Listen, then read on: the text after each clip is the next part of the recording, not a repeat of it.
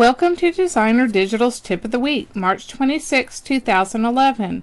This week, Tricks with Text Series number 2, Cutting Words from Pattern Paper. This week's tip is the second in our new series on digital techniques with text in Photoshop and Elements. This week you'll see how to create titles with pattern paper.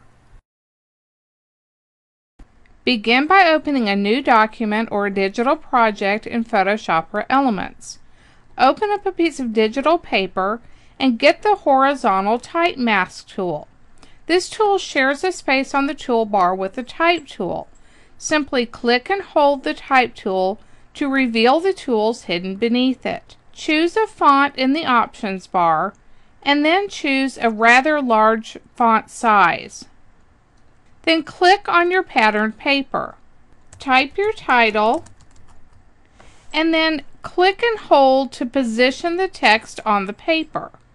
When you're happy with the placement, let go and marching ants will surround your text. Press V on the keyboard to get the Move tool, and then position the cursor inside one of the letters.